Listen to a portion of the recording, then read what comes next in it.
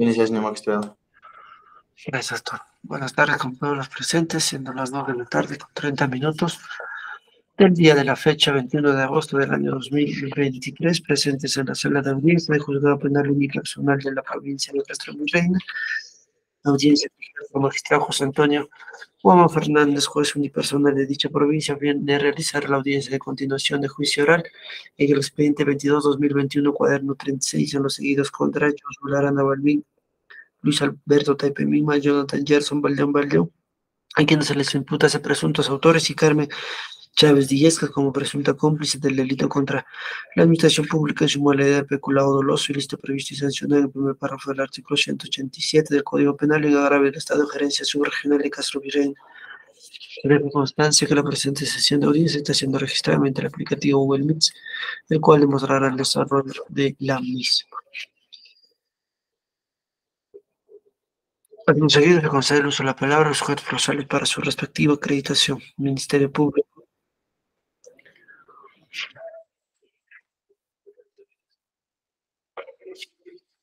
Ministerio Público, buenas tardes. Buenas tardes, señor magistrado. Buenas tardes con todos los presentes. Mi nombre es Wilmer Osvaldo Chauca Berlanga, fiscal provincial del primer despacho de la Fiscalía Provincial Especializada en Delitos de Corrupción de Funcionarios del Distrito Fiscal de Huancavelica, con los demás datos ya con, consignados en la anterior sesión. Gracias. Defensa de la parte agraviada del actor civil. Bueno, el actor civil no está constituido en parte. El doctor Igor Casimiro. El doctor Jorge Luis Aldaña Flores. Eh, señor magistrado, muy buenas tardes a todos. Eh, abogado Jorge Luis Aldaña Flores, defensa técnica de Jonathan Jackson Baldión Baldión y demás datos consignados en las sesiones anteriores. Gracias. Gracias. Doctor Walter Blua, buenas tardes, su acreditación. ¿Cómo está, señor magistrado? Disculpando la demora en la presente conexión, eh, quien les habla el abogado Walter José Blue Agustíos, habilitado con colegiatura 275 del Colegio de Abogados de Huancavelica, delegado a la Procuraduría Pública Anticorrupción, con datos de identificación brindados en audiencia anterior. Presente. Gracias. ¿El señor Jonathan Gerson Valdeón Valdeón se encontrará presente? Sin embargo, está garantizada su defensa por el doctor Jorge Luis Aldaña Flores. El doctor José, Josué Esencia. Señor magistrado, muy buenas tardes. Asimismo, con los demás presentes en esta audiencia, el abogado Josué Esencia asumiendo defensa técnica a favor del acusado Luis Alberto Teipe Migma, con los datos señalados en la audiencia anterior. Sin embargo, señor magistrado, quiero en esta parte eh, precisar tan solo el domicilio procesal en la ciudad de Huancavelica. Eh, Girón, Nicolás de Pierola, 495, segundo piso, Huancavelica. Y los demás datos conforme, señor juez. Muchas gracias. Gracias. Doctor eh, César, llámale al doctor Igor al número celular 996-586-959. Repito, 996 586-959. En este momento, señor magistrado. Gracias, doctor. El doctor eh, Mauro Pedro Illesca Chávez. Eh, buenas tardes, señor magistrado. Con todos los demás presentes, Mauro Pedro Illesca Chávez, abogado de María Carmen Chávez de Illesca y demás datos consignados en la anterior audiencia. Se encuentra el, el señor eh, la señora María Carmen. Sí, doctor, buenas tardes. Buenas tardes. Solo nombre y DNI, señora. María Carmen Chávez Dillesca, DNI número 16, no, 10, 19, 96, no, no, no, ¿cómo es? 1984 52 64. Gracias. Estaba equivocado. Solamente falta el ingreso del doctor eh, Igor. Esperemos un momento, por favor. Se encuentra presente el señor, el, bueno, el testigo que estaba declarando en anterior, el señor Constachín, no recuerdo.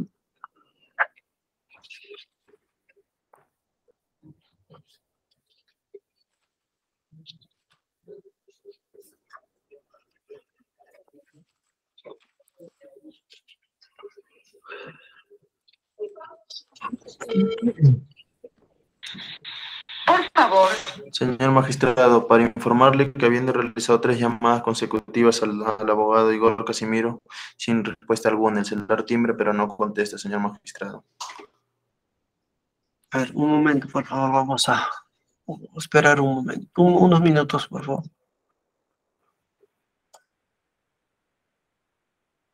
Doctor, si se puede conectar con el INPE, porque el acusado es su, el señor, eh, a ver, señor Josuel, Josuel Arana Valle, para que ingrese y para que señale, porque no podemos, se puede frustrar presenta.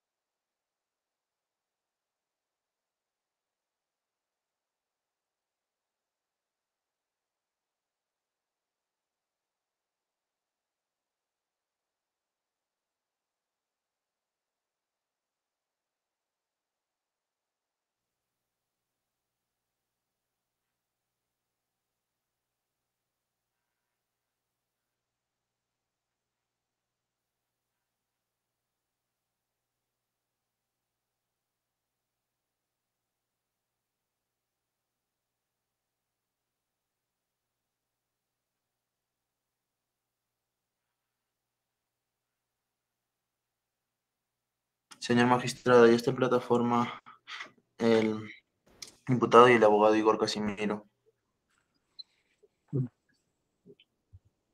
Doctor Igor, ¿me escucha? Magistrado, muy buenas tardes. Eh, sí, ¿me puedo acreditar, por favor? Ah, sí, doctor. Gracias. Igor Casimiro Aleja, eh, abogado, en esta oportunidad con la finalidad de implementar defensa técnica a favor del señor Arana Balbín. Téngaseme por acreditado conforme a lo ya establecido en la etapa inicial de este juicio oral, señor. Sí, doctor, le estábamos llamando a su celular, sin embargo, no contestaba. Eh, no me permiten utilizar en, en Sí, sí, doctor. señor. Disculpe. Gracias, doctor. Estando ellos, estando presentes todos los abogados, garantizar el derecho de defensa de todos los acusados, vamos a declarar válidamente instalar la presente sesión de audiencia en sesión continuada. Y para el día de la fecha se había dispuesto la continuación del testigo Edison Cochachín Ramírez. Señor Edison, ¿me escucha?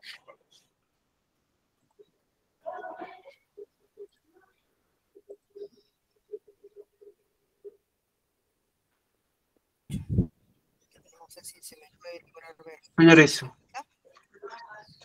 Mm, no le escucho muy bien. Mientras va arreglando su audio, el señor Francisco Santiago Huetendía. Señor Francisco, no podemos tener a dos testigos al momento en la misma declaración. Solicitarle al señor Francisco si puede dejar en el chat su número celular para poderle llamar una vez concluya. Ya vamos a concluir con la declaración del señor Edison Cochachín. Señor magistrado, muy buenas tardes, muy buenas tardes con todos.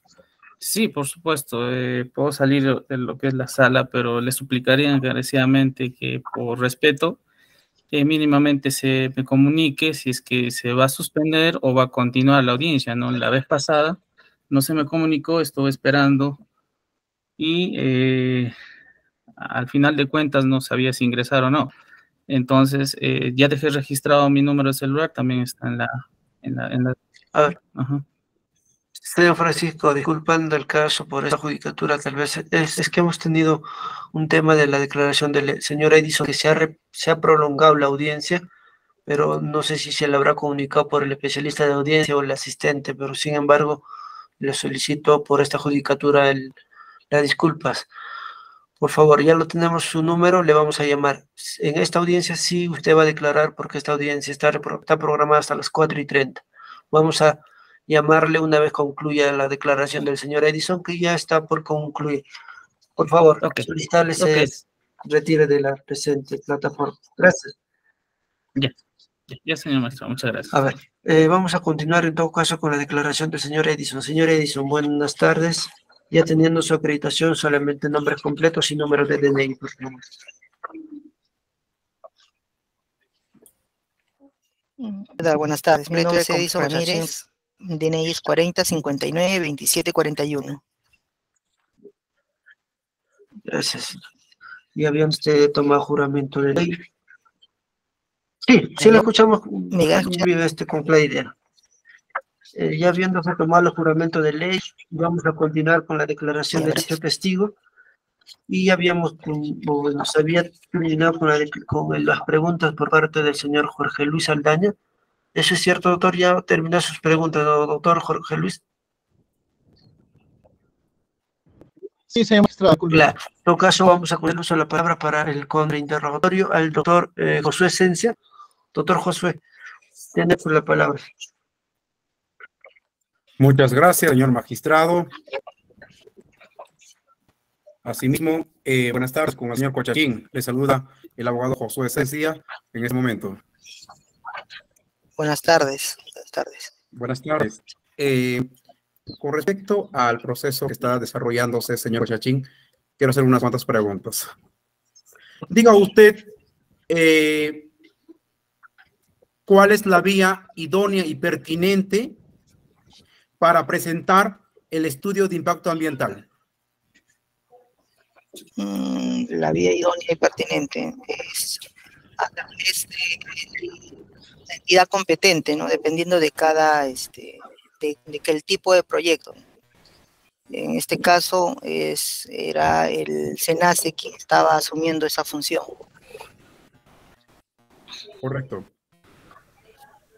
Usted presentó por la vía pertinente este estudio conforme al caso, al, al, perdón, a la subgerencia de Castro Virreina?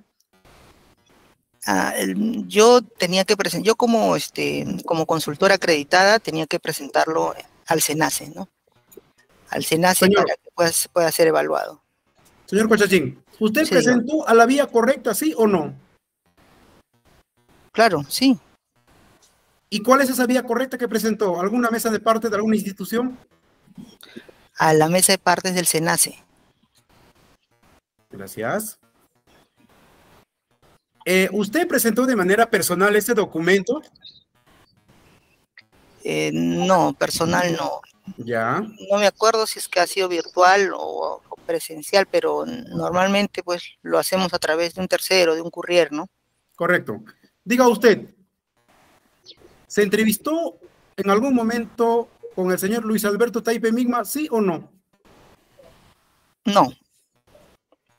Gracias. ¿Es cierto que usted en la ciudad de Lima se ha reunido con el señor Grover Flores Barrera? Sí. ¿Es cierto que usted realizaba las coordinaciones para los pagos y otros trámites en la subgerencia de Cotubirrena con el señor Josmel Arana Balbín?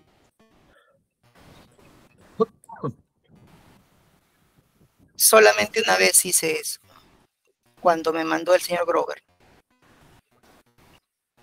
Correcto. No más preguntas, señor juez. Muchas gracias. Gracias. El doctor Mauro. Sí, doctor Mauro. señora Cochachín, buenas tardes. Le habla Mauro Illesca Chávez, abogado de la eh, señora María Carmen Chávez de Illesca.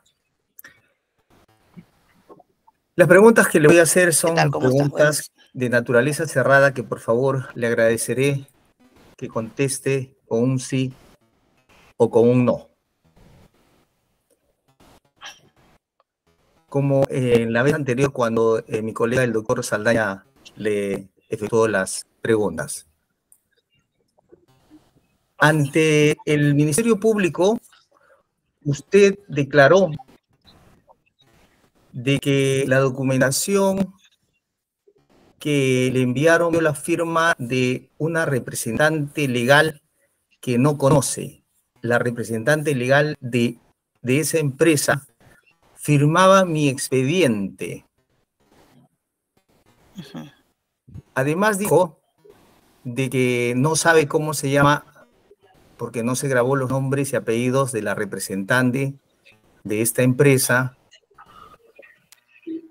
y en relación a esas respuestas que usted ha formulado, quisiera por favor que nos diga, ¿usted conoce a la señora María Carmen Chávez de Yesca? ¿Sí o no? No. ¿Usted sabe o conoce cómo es la firma o cómo firma la señora María Carmen Chávez de Illesca? No. ¿A usted le han presentado algún peritaje donde se aprecie o donde tenga como resultado que la supuesta firma, que las firmas que usted había presenciado, le corresponden a la señora María Carmen Chávez de Illesca? No. Esto, señor juez. Redirecto, Fiscalía, una pregunta. Sí, señor magistrado.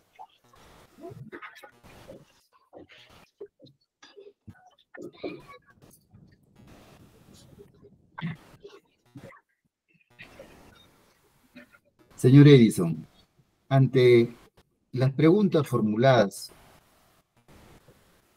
por el doctor Igor Casimiro.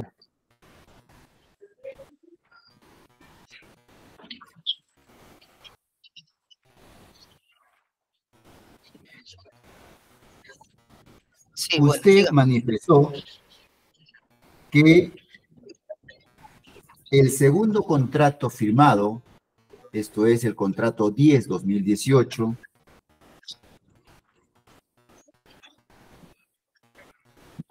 estaba dentro de la ejecución. Quisiera que me precise, señor Edison, cuando dice usted dentro de la ejecución, porque anteriormente eh, usted expone que en la ejecución de las obras ¿no? está la parte inicial del expediente técnico y luego ya la ejecución propia.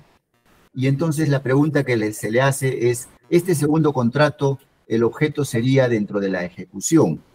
¿A qué, se refiere cuando dice dentro de la ejecución? Eh, bueno, eh, como le comenté en ese entonces, eh, me dijeron que con la plata de la ejecución iban a hacer, ¿no? El objeto, es, ahí en el contrato está claro, es estudio ambiental, pero si se puede verificar las fechas, es decir, un estudio ambiental no se hace ni se aprueba en ocho días, ¿no? Pues porque solamente era un tema de trámite para que puedan pagar, fue la solución que ellos dieron. O sea, señor, señor Edison, el objeto del contrato estipulado en el contrato, vale redundancia, 10, eh, en el contrato 10, el objeto difiere en cuanto al objeto del contrato 4-2018? Mm, no, es básicamente lo mismo, ¿no? Es decir, era el, el, estudio ambiental.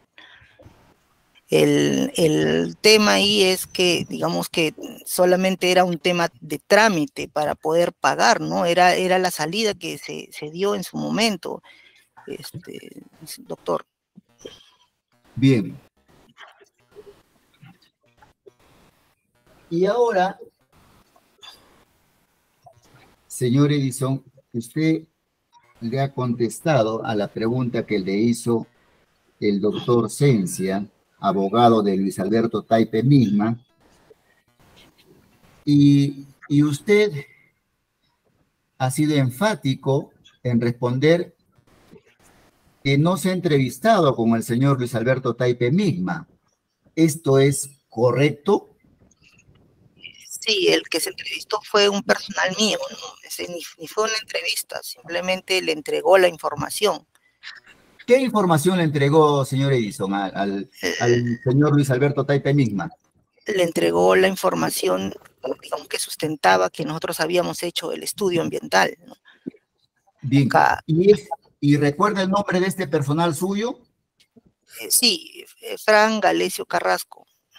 ¿Y qué le dijo Fran Galesio Carrasco de la entrevista que tuvo con Luis Alberto Taipe Enigma? Me dijo, eh, lo iba porque la idea era que él lo mande, ingrese por de partes, era, era la formalidad, ¿no? Para que paguen, pero este, me dijo, no, me lo recibió en la mano el señor que firma, ¿no? Y ahí estaba su firma del señor, ¿no? Bien. Muchas gracias, señor Edison. Eso es todo, señor juez. Con respecto al redirecto, ¿alguna pregunta, doctor Igor? Sí, señor magistrado.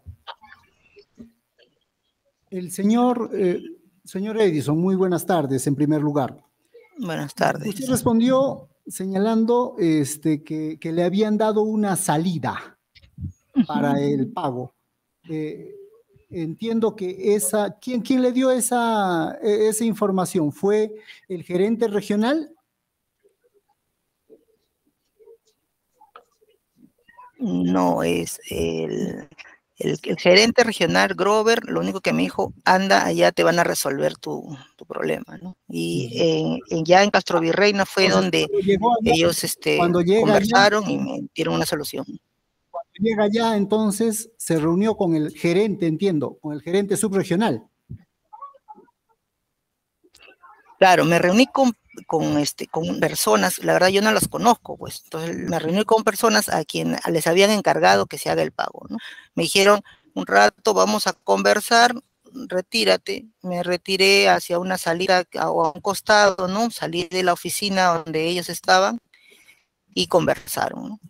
Y cuando ya salieron, salieron con la idea que les he comentado. Ya.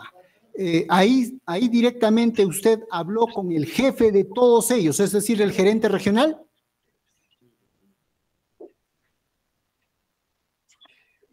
En Castro Virreina. Así es. había una persona que estaba sentada ahí, este, sí, claro, sí, pues con, con, él conversé, él me indicó que se iba a hacer Él ¿no? era el señor cómo lo Medina. iban a gestionar y bueno,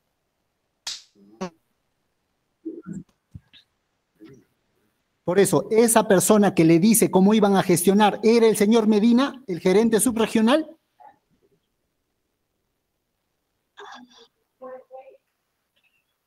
no, eso no podría, no podría dar esa presión porque yo no lo conozco. ¿En qué oficina se reúne usted? ¿En qué oficina se reúne? Entiendo que si, va- Eh, si voy en representación de, o por mandato del gerente, me entrevisto con el que tiene mayor rango allá, ¿verdad? Así es, así es, así es. Yo voy Entonces, y cuando me entrevisté Cuando, cuando se reúne allá, entiendo que se reúne con el que tenía más rango. Ese, esa persona que tenía más rango era el gerente subregional. O era el gerente Yo, de como le digo, yo, yo como le digo, me reuní con varias personas, no era una sola, habían cuatro o cinco personas, no sé exactamente cuántos eran, porque en ese momento no era mi intención ide- identificar a cada uno de ellos, solamente fui a, gestion- a gestionar algo que se me estaba prometiendo que se me iba a pagar. Entonces fui a hablar con el que con el que algún rango tenía para poder dar una solución. En ese momento todas las personas me eran indiferentes en saber sus nombres, sus apellidos, ¿no? Solamente quería que me den una solución. Mm, Ya. Ahora, entiendo que fue a una oficina en específico. ¿Se acuerda qué oficina fue? Sí, eh, bueno, eh, debe ser el mismo gobierno regional, el, la- el local de la subregión, ¿no? Del gobierno regional de Castro Virreina. Estuve esperando, me acuerdo, me atendieron ya cerca a las 4 o 5 de la tarde. Eh, no, por ahí en ¿Y ese, en horario. Entiendo que le atiende, entiendo que le atiende el gerente subregional. ¿Llama a algún funcionario ahí en ese momento o ya estaban reunidos? Ya estaban, ya, ya estaban, ya estaban. Yo llegué con donde donde ya había personas, ¿no? Mm, Ya. Ahora. Señor magistrado. Sí, sí, un momento, doctor. Eh, le quería hacer precisión, doctor Igor, con respecto al redirecto, doctor, vamos a hacer precisos las preguntas. Estamos, estamos Estamos en el redirecto. Sobre el objeto de lo que ha preguntado y, y lo que han preguntado, señor magistrado, es que hubo una reunión ahí en la cual se le, se le este, prometió darle solución. Entonces queríamos saber quiénes son los que han participado directamente. Claro, claro, doctor, pero hay que serlo más, más puntuales, doctor, por favor. Se- señor magistrado, pero ya eh, hartamente lo ha dicho el señor Edison, no puede identificar a las personas. Entonces, mal estamos insistiendo eh, en tratar de identificar a estas personas que estuvieron en esa reunión. Eran las autoridades de la subgerencia regional, ¿no? Y nosotros sabemos quiénes eran las autoridades eh, a esa fecha. Ah, claro, sí, doctor Wilmer, ti- tiene razón, sin embargo, ha salido del redirecto, esto tal vez con una finalidad de que tal vez el señor pueda eh, recordar, en caso no lo recuerde, señalarlo no y punto, doctor, para poder continuar, doctor, este, Igor, también con respecto a esa precisión, doctor. Gracias, señor juez. Eh, también nos ha hablado del objeto del contrato y nos dice que es similar, ¿verdad? ¿Eso ha dicho? Claro, es decir, la, la información, lo que dice el objeto del contrato era, era lo mismo, ¿no? El, el tema era cómo lo iban a, mm, este, a gestionar, ¿no? E- ese era el, el problema, el gran problema era ese, ¿no? ¿De dónde iban a sacar? Porque es lo que me informaron, no hay, mm, cuando se hizo el contrato no sabían de dónde sacar la plata y bueno, ese es ya un tema que la verdad yo no, no sabría decir cómo resolverlo, ¿no? Ellos me dieron la solución y yo tenía personal esperando pago para ese tema y buscando una solución, ¿no? Lo único. A ver, ahora, me está diciendo que si el, el objeto del contrato es el mismo, ¿por qué firmó usted? porque el otro, me- el otro me dijeron que no tenía validez.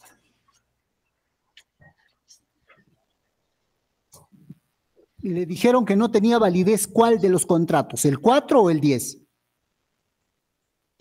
Eh, primero me dijeron el 4 no tiene validez porque no hay de dónde sacar la plata. Eso es lo que me dijeron. Y por eso firma, firma el contrato 10. Y por eso me dieron una salida a ellos. Pero el contrato 10, si leemos el objeto del contrato y leemos cada uno de los términos del contrato, son diferentes al, al contrato 4. ¿Ha verificado usted eso? Para dar esa respuesta que ha dado ahorita. En sí son lo que dice el 4 es más específico y el 10 es más general, ¿no? En sí son lo mismo. ¿Y por, Sí, lo he qué, dio una, ¿y por qué dio una respuesta diferente la, en la otra oportunidad en la que se le preguntó eso? Porque estábamos hablando de dónde sacaron la plata. La plata no la estaban sacando del mismo lugar donde deberían de hacerlo. Es decir, ahí es seguramente pues, en eso, en esa situación he caído en confusión, pero el objeto era, era lo que lo que en el contrato una- dice, ¿no? Usted tiene una suerte de animasversión, eh, molestia, odio en contra de los funcionarios que no le han generado el pago en ese tiempo. Impertinente la pregunta, doctor, no viene con respecto a la, al redirecto, doctor. Sin embargo, contestó magistrado. Eso es todo. Gracias, doctor Saldaña. Con respecto al redirecto únicamente, doctor. Ninguna, Doctor Mauro. Ninguna, magistrado. Doctor José, disculpe, doctor José Esencia. Ninguna pregunta, señor magistrado. Gracias. Señor Edson, ha terminado su declaración. Agradecerle por su ingreso a esta segunda audiencia. Ha terminado su declaración. Ya puede usted retirarse si lo considera. Doctor César, si se puede comunicar con el otro testigo. Gracias, hasta Francisco luego. Le doy el número. El número es el 956 92 66 44.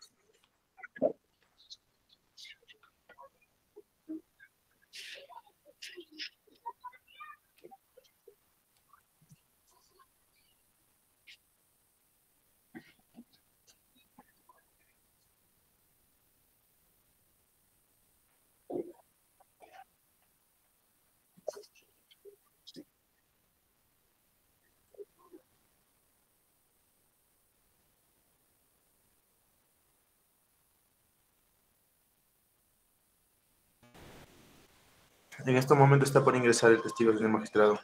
Gracias, doctor.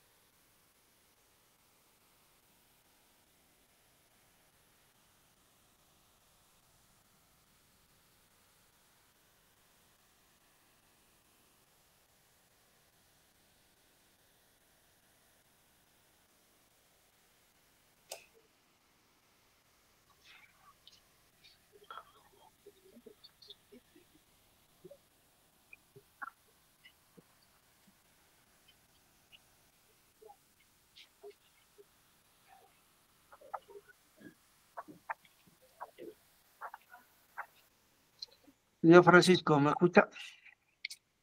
Señor magistrado, nuevamente muy buenas tardes. Buenas tardes, señor Francisco. Señor Francisco, encienda su cámara. Vamos a iniciar con su declaración.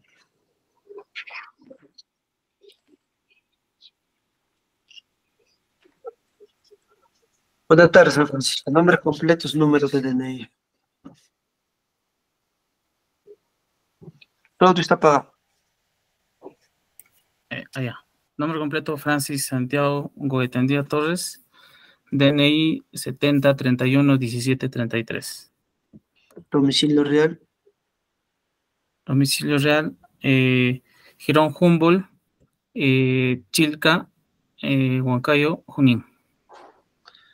Número celular. Número celular 956 92 6644. Grado de instrucción. Eh, eh, eh, superior completa, De profesión. ingeniero civil. ocupación a la fecha que se dedica, donde viene elaborando o donde viene desempeñando sus labores. Actualmente estoy trabajando en la Municipalidad Provincial de Huancayo. Estado civil. Soltero. ¿Hijos a la fecha? Sí, una hija.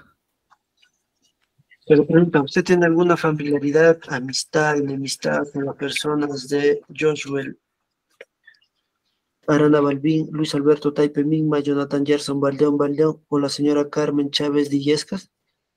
No, ninguna, señor magistrado, ninguna. ¿Su religión? ¿Qué religión profesa, señor? Ah, ya, católico. Levante la mano derecha donde se encuentra. Señor Francis Santiago, ¿tendría todo usted jura decir la verdad en el presente pero de las preguntas que se le formule? Sí, juro. Gracias. Estando su respuesta, se hace la siguiente, se informa lo siguiente. Si se evidencia que usted está faltando a la verdad o está declarando falsamente, usted puede ser denunciado penalmente por falso testimonio en juicio oral y ser investigado por dicho delito.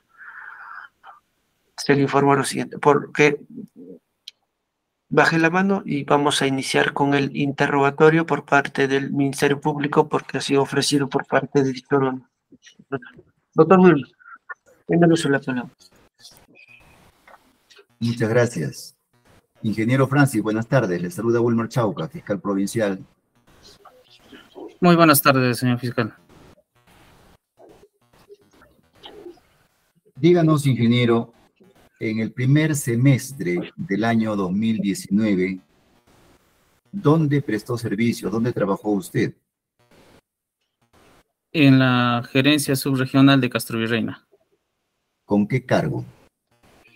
El cargo que tuve es subgerente de infraestructura.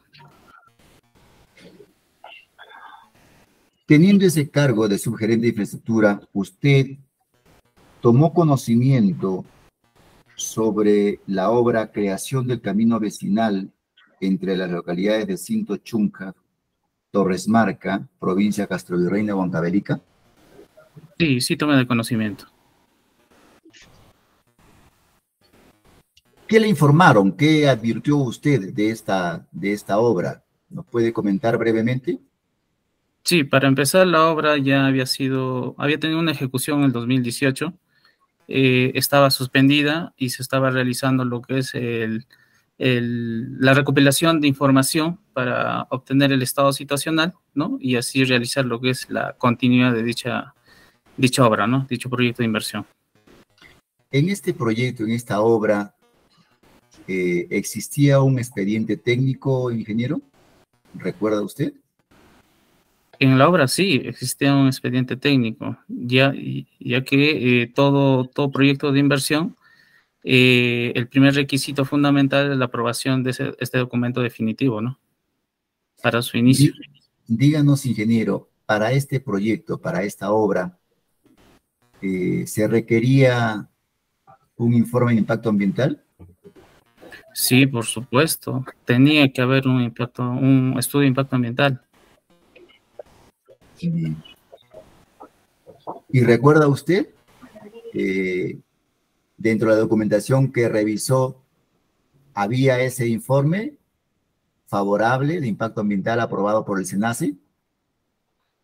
Y como se empezó a realizar lo que es la recopilación de información, en ese momento eh, lo que pudimos eh, encontrar es un informe eh, del área de la Oficina de Estudios y Proyectos de la Gerencia Subregional de Castro Virreina, un informe del año 2018, en la cual adjuntaba una solicitud de pago, ¿no? De este estudio de impacto ambiental, ya que nosotros hicimos la, la, averiguación, ¿no? Dónde se encontraba dicho, dicho documento y eh, se ubicó ese, ese, ese informe, eh, si mal no recuerdo, era el informe número 9 del 2018 de la Oficina de Estudios y Proyectos, donde hacía la, la evaluación de una solicitud de pago de este estudio de impacto ambiental, ¿no?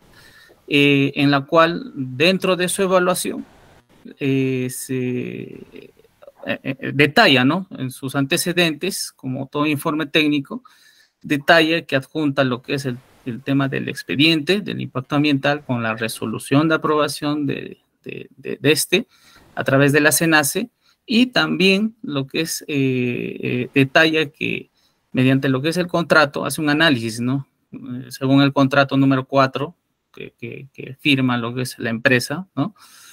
Eh, resalta lo que es el tema del, del en el plazo, ¿no? Excede en el plazo porque era un plazo de 80 días a partir de la firma del contrato, ellos firman en marzo del 2018, entonces a mayo ya se, se tenía que presentar ¿no? o, o, cumplir lo que es el servicio y por ese Bien. motivo.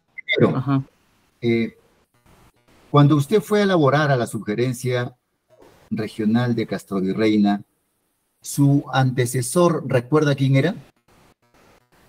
O sea, el eh, anterior jefe de infraestructura. Eh, no, no recuerdo, no recuerdo, no recuerdo. Bien. ¿Recuerda usted a las personas o las conoce o ha tenido referencia? Le voy a mencionar Josmel Arana Balbín. Objeción, señor magistrado. Está introduciendo información en el testigo. Doctor Wilber. Sí, voy a reformular en todo caso. Cuando usted llega a, a, a, la sugerencia a laborar como subgerente o como gerente de infraestructura, ¿quién era el, el gerente subregional? Cuando yo llego a laborar, el nuevo gerente de, de infraestructura, de, perdón, de la gerencia subregional, el nuevo gerente de, era el, el ingeniero este.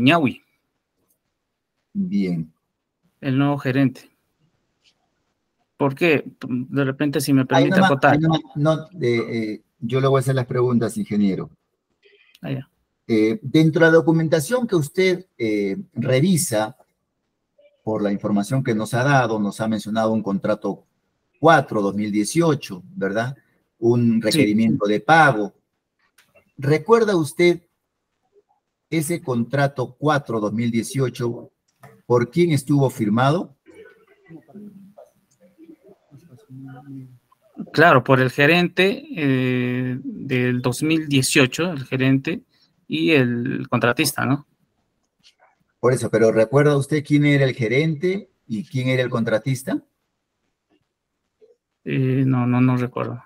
El contratista, el contratista sí eh, era el, la empresa Guellas. Gayas, ¿cómo? ¿Lo puede deletrear, por favor? G-E-I-A-S.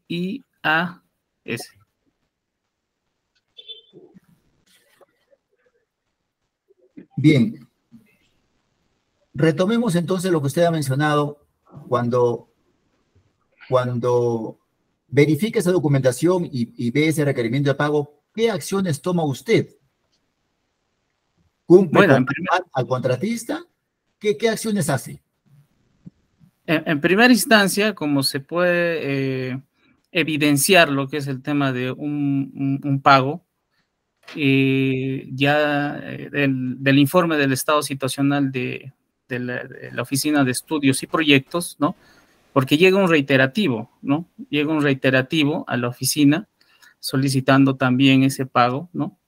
por la misma empresa. Entonces, lo que yo hago es solicitar información, ¿no? Que me confirme en las áreas correspondientes, por ejemplo, a través de lo que es el área de tesorería, donde está lo que es la documentación final, ¿no? Los comprobantes de pago, eh, para que me remitan, ¿no?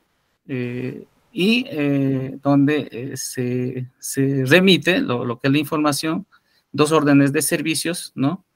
uh, si mal no recuerdo, la 3.999 y la 4.000, donde se hacía efectivo o se efectivizaba el pago uh, de, ese, de ese servicio de impacto ambiental a otra empresa, más no a la, a la empresa Guellas, ¿no? Que estaba solicitando su pago. ¿Y cómo así eh, usted dice que, o sea, con ese mismo requerimiento se pagó a otra empresa? ¿Recuerda el nombre de esa empresa? No, no, no, no, no, con ese mismo requerimiento no. Ese requerimiento, como le vuelvo a repetir, eh, llega eh, en el 2018, cerca a octubre, si mal no recuerdo, estaba el documento. Eh, o sea, todo lo que le, detallo es lo que estaba plasmado en el informe del jefe de, la unidad de estudios y proyectos del 2018, de la gestión del 2018, ¿no? Donde él remite lo que es la solicitud o el requerimiento de pago de la empresa Guellas, donde pedía su pago de ese, de, ese estudio de impacto ambiental. Yo cuando entro el 2018 me llega un reiterativo de esa misma empresa, de Guellas, solicitando su pago. En función de eso yo empiezo a solicitar lo que es, eh, lo, que es lo correspondiente, ¿no? El tema de la conformidad. Entonces, eh, en el contrato decía que esta conformidad se daba a través de la Oficina de Estudios y Proyectos. Por eso es donde el ingeniero responsable de estudios y proyectos remite ese informe que ya había remitido el 2018, ¿no? Donde informa que se había aprobado el estudio de impacto ambiental, ¿no? Eh, en septiembre del 2018 a través del SENACE y donde recomienda también de que se haga eh, a través de la oficina de asesoría jurídica de la evaluación de esta documentación, ¿no? ¿Y, por qué pasa a la oficina de asesoría jurídica? ¿Había alguna irregularidad? Sí, porque eh, él manifiesta de que habían eh, excedido del plazo de, la prestación. O como le vuelvo a repetir, la, la, prestación era de 80 días calendarios y ellos presentan la resolución de aprobación en octubre, ¿no?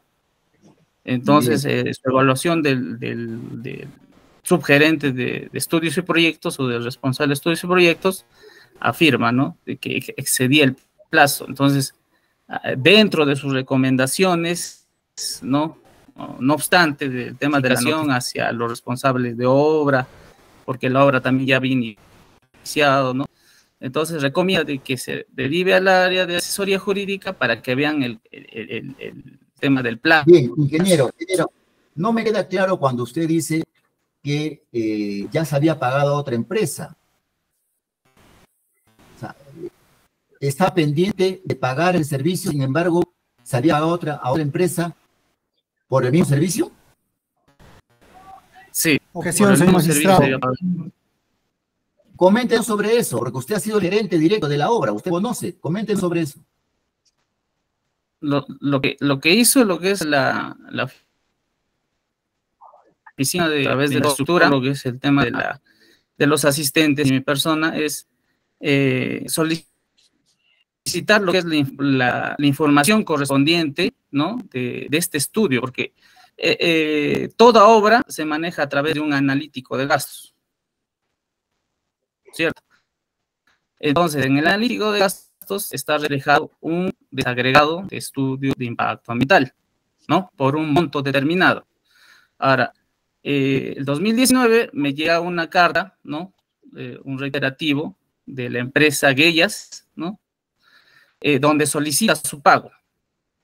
Entonces, yo lo que solicito es la, conformidad de parte de la Oficina Estudios y Proyectos, porque eso remarcaba en una de las cláusulas del contrato número 4. Entonces, estudios y proyectos ya me, eh, me remite ese informe. Entonces, yo indagando lo que es el tema de la, de, la documentación, el flujo que sigue esa documentación, entonces empiezo a solicitar a través del, considerando el estado situacional de todos los pagos de esa obra, ¿no? Empiezo a solicitar al área también de tesorería, como vuelvo a repetir, las órdenes de servicio, de los pagos receptivos. ahí es donde se encuentra un pago que se realizó a otra empresa que no era Guellas eh, del servicio de impacto ambiental. No, no me ha sido preciso, ingeniero. Lo que quiero saber es que usted me manifieste las acciones que usted tomó. ¿Realizó algún informe? ¿Dispuso algo? Eh, coméntenos sobre eso. Sí, se realizó lo que es un informe de, para lo que es la toma de acciones, eh, remitiendo lo que es el, la documentación que se había encontrado, ¿no?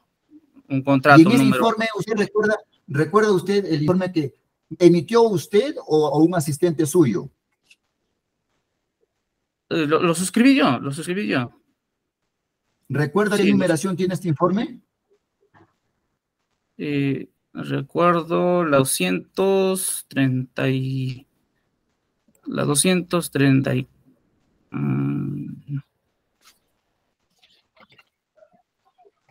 232. Sí. En ese informe, 2019.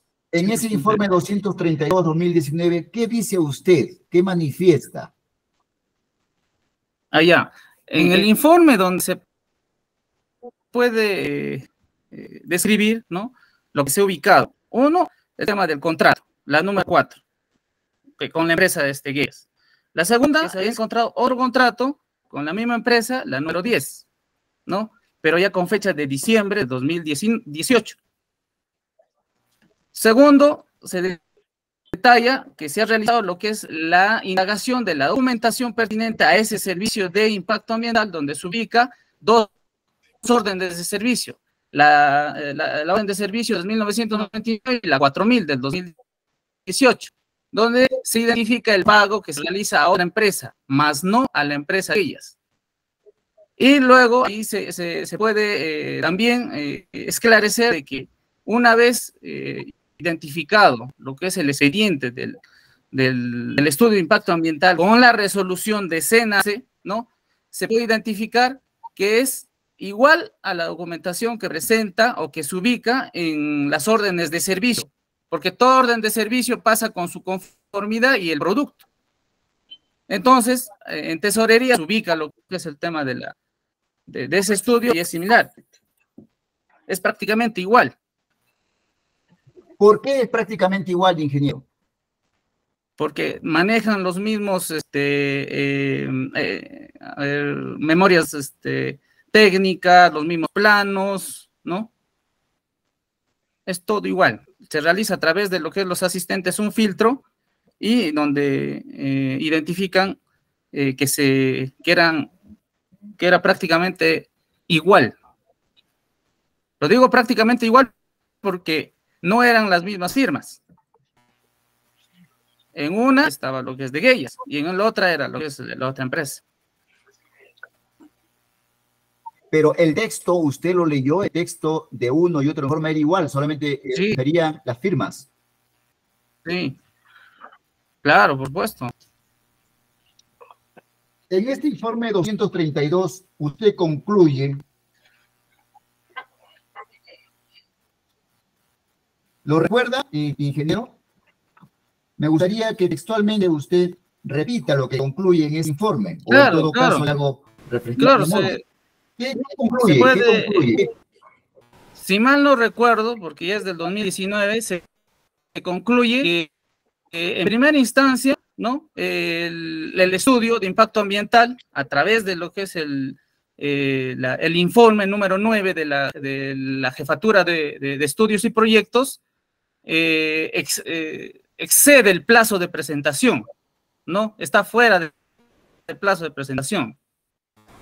Y eh, en segunda instancia, que la empresa a la que se canceló, ¿no? Ha plagiado lo que es el, o ha copiado lo que es el, el estudio de impacto ambiental de aquellas. Ingeniero, ese término ha plagiado, ha copiado, es una afirmación que usted hace. ¿Qué le lleva a concluir y ser tajante en que ha sido plagiado ese informe, ese informe de impacto ambiental? por la revisión que se realiza, por la revisión y por, por, por también la indagación que uno hace en función a que era el mismo servicio con el Según- analítico de gasto, era el mismo servicio, porque no puede haber dos eh, desagregados de, de igual eh, denominación dentro de un, eh, de, un este, de una obra, ¿no? De una ejecución una obra, de un expediente técnico, por llamarlo así del estudio de impacto ambiental considerando en este aspecto. Entonces, eso en primera instancia. En segunda instancia, es de, ¿cómo puedo decirle? Eh, es de mm, transparencia, ¿no? Que usted puede entrar o cualquier persona puede entrar, un ciudadano normal, al portal del SEACE, coloca lo que es el número de expediente de solicitud de trámite y ahí es donde se evidencia qué, qué empresa está solicitando a través de qué profesional esa solicitud de aprobación de impacto ambiental en el SENACE. ¿Y quién la solicitó, ingeniero? La empresa Guellas. Eh, díganos, ingeniero, cuando usted asume el cargo en la gerencia de infraestructura, ¿recuerda algún personal de la gestión anterior que continuaba laborando? Objeción, señor magistrado. Ya estableció de que no recuerda. No. Con respecto a los doctor, eh, doctor Wilmer. A ver, le preciso, le preciso, señor magistrado. No recuerda, yo le hice mención del anterior gerente. Le estoy hablando qué personal continuó trabajando estando él como jefe, como, como gerente de infraestructura. Es diferente la pregunta. Señor Francis, ¿usted puede responder a esa pregunta? Sí, porque ha sido eh, la gestión anterior quedó el ingeniero, el, el, jefe de estudios y proyectos, porque los demás funcionarios ni hicieron lo que es la entrada de cargo. O sea, yo tuve No, que hacer eh, un... Ingeniero, ingeniero, ingeniero, le hablo de su área, de su área de infraestructura. ¿Hubo personal Allá, de ¿eh? la gestión anterior o personal que No, repente estaba haciendo entrega de no. cargo? No, no, ninguno. No le presentaron, no le presentaron a usted ningún informe, documentación. No, Ninguno, ninguno. Tuve que hacer, sí, un informe de estado situacional, ya que no había entrega de cargo. Bien, eh, señor magistrado, para, para refrescarle la memoria, porque son varios años, el ingeniero no recuerda respecto de la declaración que tuvo en la fiscalía. Y ahí menciona claramente, incluso de una rescisión de contrato.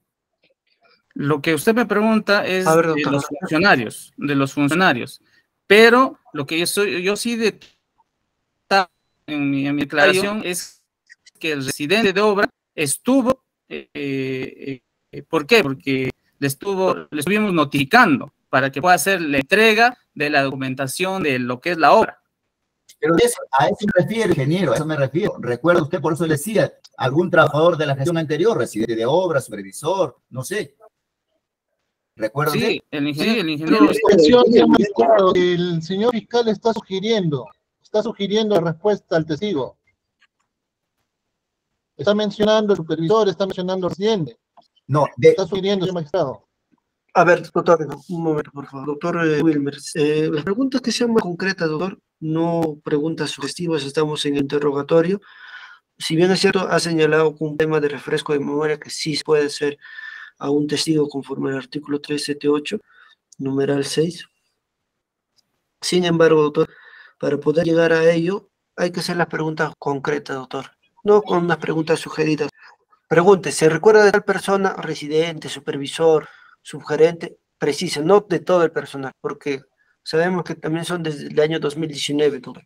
Doctor Wilmer, para que Sí. reformule su pregunta. Sí, eh, muchas gracias, señor magistrado, pero eh, si ustedes revisan el audio, una vez que el ingeniero ha mencionado residente de obra, es que yo he hecho la pregunta. O sea, él Sí, pero doctor, no está, no está terminando de concluir la pregunta, están haciendo, está habiendo una confusión, doctor.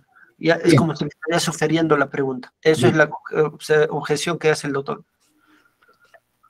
Bien, en todo caso, ingeniero, eh, ya que eh, ha recordado sobre estos trabajadores, funcionarios, ¿no? Eh, ¿Qué nos tiene que decir al respecto? ¿Qué acciones tomó usted frente a ese personal? Sí, en función a lo que es el... eh, en vista que no había respuesta de los responsables directos de lo que es la ejecución de la obra, porque para que tú puedas hacer eh, una continuidad de, una inversión, ¿no? De una obra, tienes que notificar a los, a los responsables directos, residentes, supervisor de obra, ¿no? Entonces, ya que tampoco no se encontraba ninguna documentación, las valorizaciones no se encontraba. Entonces, no se tenía respuesta alguna, se solicitó la resolución de contrato del responsable técnico, eh, del primer responsable técnico, que es el residente de obra, el ingeniero Luis Taipe, eh, en vista de que no, no había ninguna respuesta. Bien, en vista que no había ninguna respuesta, ¿usted le notificó a este señor? En vista que no había respuesta del Estado situacional, identificando lo que es el tema de la, eh, incumplimiento de funciones, vela como residente de obra, ejecución de lo que es la, la, la, la obra. Entonces, si, si, dentro de sus funciones no, cumple eh, y, y, también está eh, en falta con lo que es la, la presentación de los documentos de estado situacional, solicitó lo que es el, eh, la resolución de contrato. Bien, entonces usted solicitó la resolución de contrato del ingeniero Luis Taipe, ha dicho, ¿no? ¿Recuerda su segundo apellido? Sí, Luis Taipe. Luis Taipe Migma, si mal no recuerdo. Bien. Entonces, se le resolvió el contrato al, al residente de obra Luis Taipe Migma, ¿no? Y dice usted porque no cumplió con sus funciones. Con sus funciones. Específicamente, específicamente, ¿qué no cumplió, ingeniero? Por velar por la correcta ejecución de lo que es la obra. Llámese correcta, el tema de eh, tener un, un eh, ordenado lo que es sus valorizaciones, eh, estado situacional de lo que es la obra eh, in situ, ¿no? eh, no había lo que es un responsable de lo que es el, el almacén, de lo que es la obra. Eh, el, Bien, y, y así, dentro, ¿no? de la, dentro, dentro de la mucha eh, documentación que, que usted revisó para llegar a esa conclusión del informe 232 que nos ha mencionado,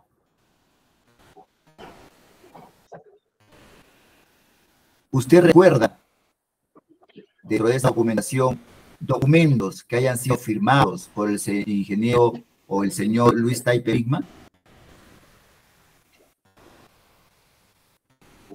Dentro de la documentación, claro, pues, claro, encontré lo que es la, la conformidad de, esa, de ese estudio.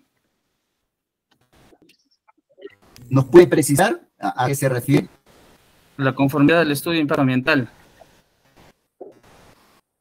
Como residente. La conformidad del estudio de impacto ambiental, ¿para qué empresa? ¿Recuerda usted? Sí, o sea, yo me llega la documentación de tesorería y ahí es donde encuentro la conformidad hacia la otra empresa. Que no era No recuerdo de la otra empresa, ¿verdad? No, no recuerdo, no recuerdo. Pero está dentro de lo que es eh, el legajo que se, que se adjuntó, ¿no? Las órdenes de servicio. Inclusive el, el informe, la 232 que se presentó, ahí también está. Eh, señor magistrado, para que para hacerle recordar al testigo de la declaración que prestó ante la Fiscalía con fecha 7 de octubre de 2021, a la respuesta de la pregunta 10.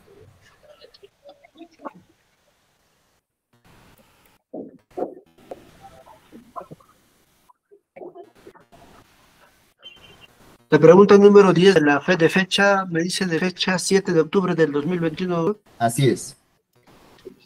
Objeción, señor magistrado. El testigo en ningún momento ha señalado que no recuerda. Él está explicando.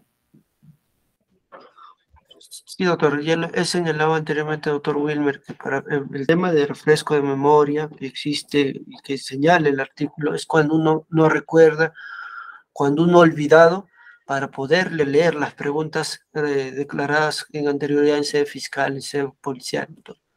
Sin embargo, el doctor Francis está respondiendo las preguntas de, manera este, puntuales, ¿no? Como se podría decir, puntuales.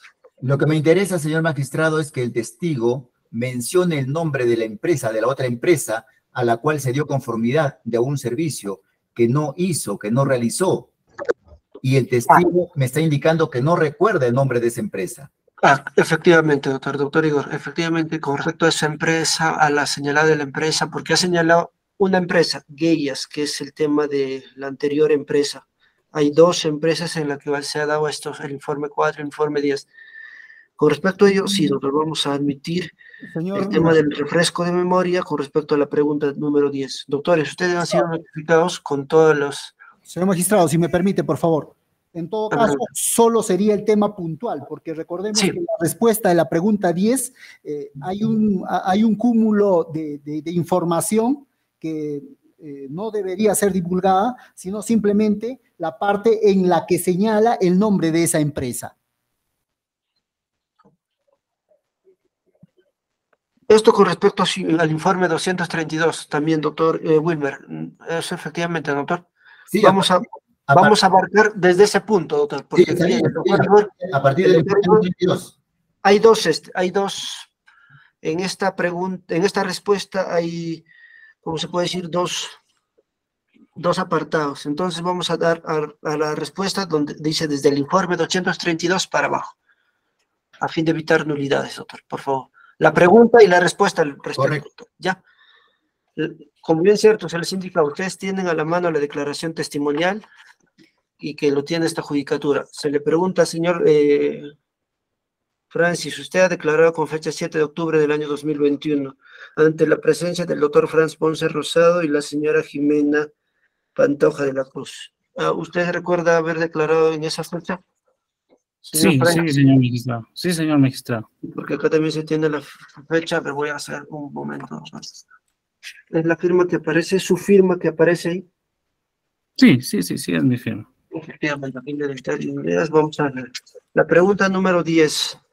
Atendiendo a su desempeño como gerente de infraestructura de la Gerencia Subregional de Castro ¿tuvo conocimiento de, de, qué empresa realizó el servicio de estudio de impacto ambiental para la obra creación de caminos vecinales entre la localidad de Cinto Chunca Torres, Torres Marca, provincia de Castro Virreyna en el año 2018? Respuesta con respecto a ese punto. El informe número 232 es la que se emite para la toma de acciones correspondientes en vista que la empresa había solicitado el pago de dicho estudio, pero se pudo identificar porque se solicitó de parte del área usuaria que el pago de servicio ya se había realizado con orden de servicio y comprobante de pago se identificó que se canceló el pago a otra empresa constructora y servicios múltiples MMCIC, Sociedad Anónima. Se solicitó la información y se remitió el informe para la toma de acciones, en vista que se pudo identificar ese pago correspondiente. Doctor Wilmer. Bien. Ingeniero Francis, entonces, le vuelvo a hacer la misma pregunta. ¿Recuerda usted el nombre de esa empresa a quien se le pagó por un servicio que no realizó, como ha manifestado usted. Sí, es, esa, es la empresa que acaba de, de leer el señor magistrado.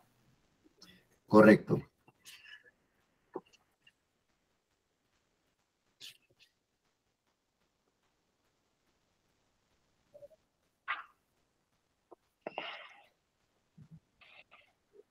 A ver, doctor, para poder concluir, doctor. Sí, sí, sí, ya, ya, ya con esta es la última pregunta, doctor. Eh, ingeniero Francis, dentro de esta misma documentación que usted revisó eh, sobre eh, el, estudio de impacto ambiental, contaba con una resolución de aprobación del SENACE Sí, la, documentación que remite lo que es la Oficina de Estudios y Proyectos, eh, eh, como documentación por atender. Del 2018, ahí es donde se adjunta lo que es la resolución de aprobación de, del impacto ambiental a través del SENACE, ¿no? La resolución número 12 del 2018. Perfecto.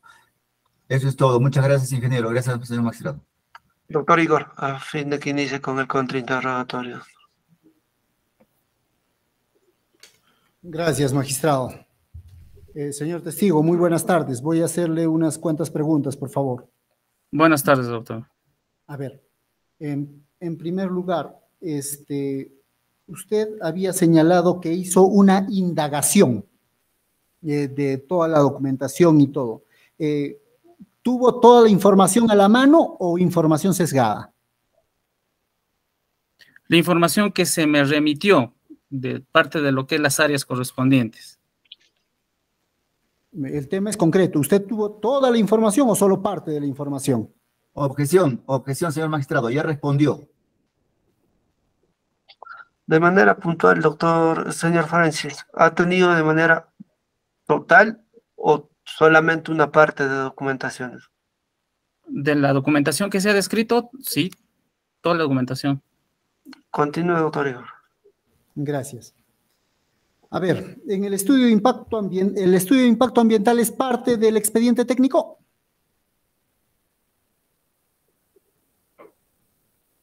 Es, el estudio de impacto ambiental es parte del expediente técnico. Sí. Un requisito, un requisito fundamental para la ejecución de una obra. Muy bien. Ahora, eh, ese expediente, ese expediente técnico respecto al estudio de impacto ambiental, eh, ¿tenía aprobación por el CNACE? ¿En qué momento?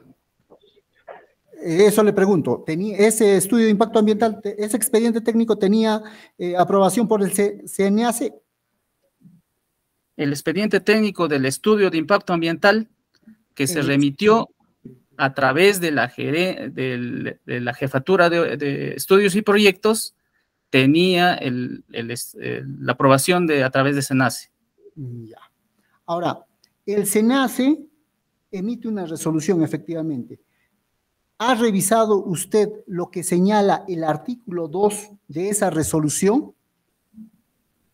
No. Respecto a la implementación. O sea, que se tenía que implementar eso. No, no, no, no revisé. Ya, pero usted sabe como ingeniero que se tiene que implementar ese, ese, esa aprobación del expediente técnico. claro que sí. Ambiental? Claro que sí, es un requisito, lo vuelvo a repetir, es un requisito fundamental para la ejecución de, de una obra. Me refiero a la implementación. A la implementación. Así es, la implementación del estudio de impacto ambiental. Ya está aprobado ya. Ahora lo que toca ya es implementar. Objeción, señor magistrado. Por impertinente, estamos hablando solamente para la aprobación. Para la ejecución, la implementación es otro tema que no es materia de este, de este proceso. Exacto. A ver, magistrado, si me permite, por favor. Precisamente lo que se está determinando es si ese contrato 10 tenía eh, pertinencia o no, se tenía que ejecutar o no. Y eso está vinculado directamente a este punto. Y es si es que se, si es que se ha ejecutado o no se ha ejecutado esa parte del estudio de impacto ambiental. A ver, doctor, este, estamos hablando del contrato número 10, doctor, ¿no? Diré del...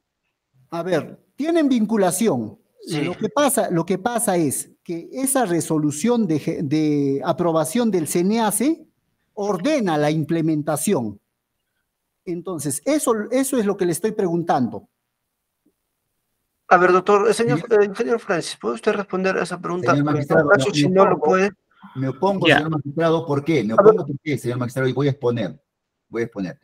El abogado hábilmente trata de confundir nuevamente al testigo como lo hizo con el anterior testigo.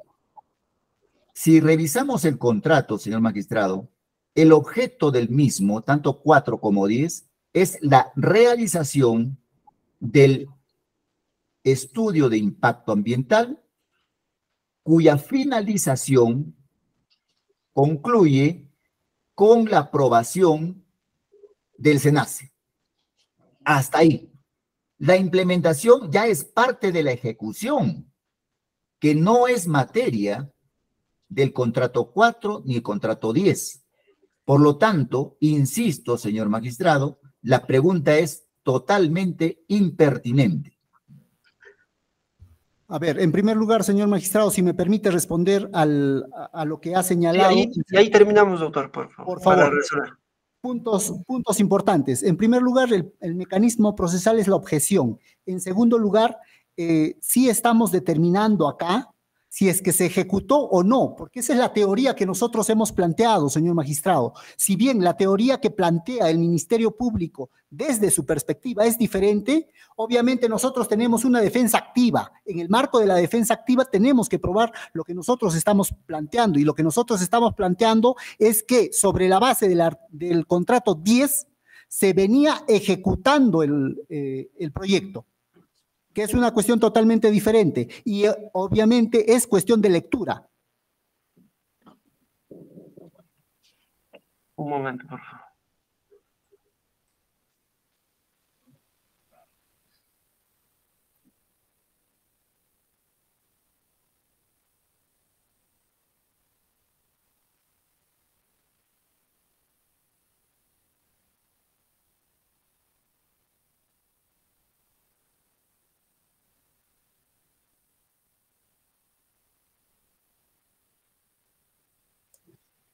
A ver, doctores, con respecto a la objeción, sí, lo- el, Ministerio Público ha objetado la pregunta por ser impertinente, que estamos en el contrainterrogatorio, que sí es válido la, la objeción. Sin embargo, doctores, debemos tener en cuenta que estamos en, una, en el interrogatorio de un testigo, que es, ¿cuál es la finalidad del testigo? Es esclarecer el tema, el presente juicio oral. Más aún que solamente son dos testigos ofrecidos por el Ministerio Público, sin embargo, doctores, con respecto a las teorías del caso, tanto el ministerio, la defensa técnica del acusado como teoría del caso ha señalado en los alegatos de apertura lo que él considera pertinente, esto con una finalidad de garantizar el derecho de defensa que le asiste a su patrocinado. Si, si bien es cierto, el doctor Wilmer tiene razón al señalar que no estamos en ese proceso, pero como mecanismo de defensa por parte de la defensa técnica del acusado, voy a permitir a, que se haga esa pregunta. En todo caso, ya será el testigo el quien eh, señalará al momento de responderla. Doctor eh, Igor, para que pueda preguntar, doctor. Para contextualizar, en todo caso, voy a leer el artículo 2 de la resolución 12 que, que emite el CENEACE. Dice, el gobierno regional de Huancavelica se encuentra obligado a cumplir lo estipulado en la declaración de impacto ambiental mencionado. En todo caso, entonces, estando en la obligación el gobierno regional de ejecutar esto, eh, el estudio de impacto ambiental tenía que ser ejecutado? Esa sería la pregunta. Ingeniero Franz. Sí, el estudio de impacto ambiental tenía que haber ejecutado. Ahora, ingeniero, para la ejecución de la obra es necesario crear servicios para la implementación del estudio de impacto ambiental ya aprobado.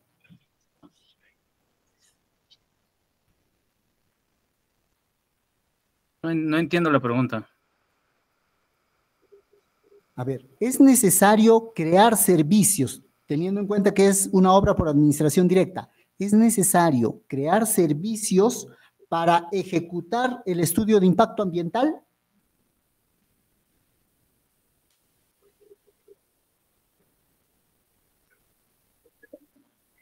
Eh, no, no podría responder esa pregunta. Ya, cuando se ejecutan obras, entiendo que el estudio de impacto, el, el expediente técnico es un conjunto de documentos técnicos. Uno de esos documentos técnicos que se tiene que ejecutar es el estudio de impacto ambiental. Ese estudio de impacto ambiental, para ser ejecutado en administración directa, requiere contratar servicios de personas para que se ejecute eso.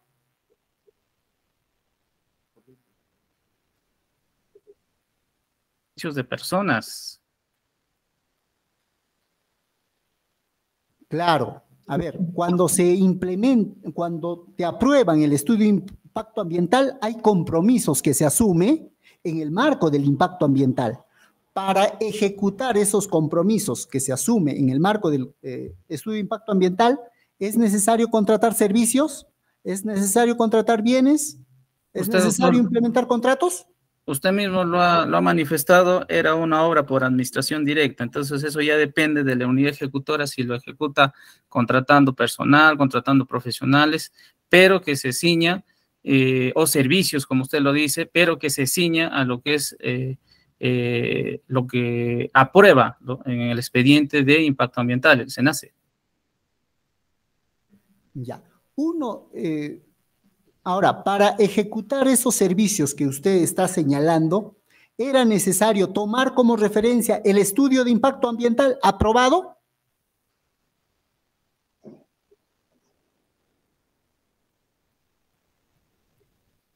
La unidad ejecutora de inversiones, en este caso la gerencia subregional de, de Castro Virreina, durante lo que es la ejecución de lo que es la obra, tiene que implementar estos, eh, estos eh, procedimientos, por llamarlo así. Ya. Ahora, ¿usted revisó los términos de referencia del contrato 10-2018?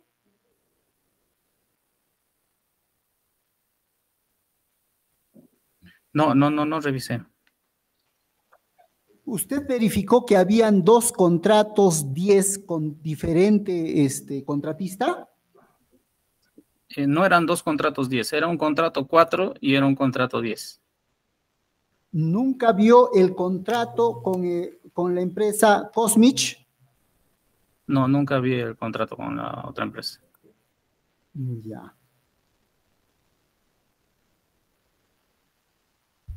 ¿Usted tuvo a la mano el CP de pago, el comprobante de pago de eh, eso, eh, lo que usted había señal, usted señaló que se había, paga, que se había pagado en su, en su informe 230 232 dice que hay dos comprobantes de pago, 3,090 y- el 3.999 y el 4.000. En esos comprobantes de pago no verificó la existencia de los, del contrato 10. Eh, Todos esos comprobantes, esos dos comprobantes sí lo tuve a la mano. Y se remitió con lo que es el estado situacional del informe a la Oficina de Asesoría Jurídica. Y en ese documento no encontró, no verificó el, el contrato 10 No, no recuerdo. y los términos de referencia del, del contrato 10 tampoco los verificó. Ya le he indicado, doctor, que no lo ha, no lo ha verificado. Del contrato, no ha visto el contrato, por eso le pregunto si es que vio los términos de referencia, señor juez. Sí, también ha señalado, doctor, que no lo ha revisado. Ya lo ha respondido en anterior. An- Usted ha sido gerente de infraestructura o subgerente de infraestructura. ¿Es posible pagar sin tener un contrato?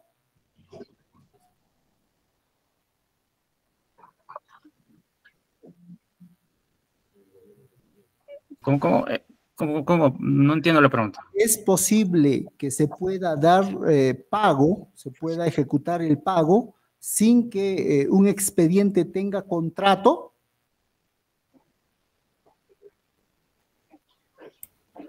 No, no es posible, ya que ese, ese eh, requerimiento de, o solicitud de pago se adjunta a lo que es el contrato, pues para poder eh, solicitar lo que es el pago.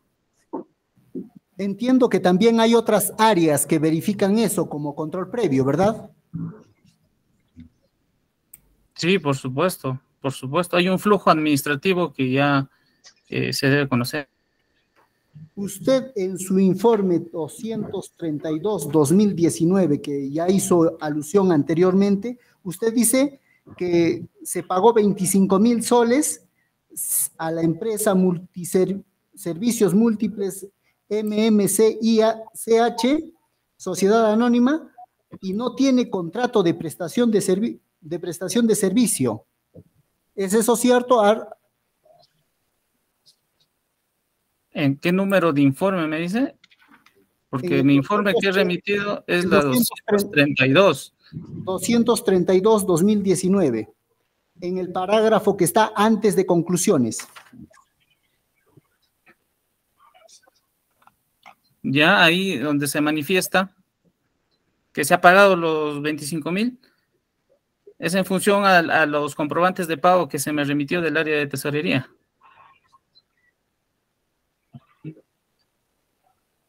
El comprobante de pago número 300 3.999 y la, y la 4.000.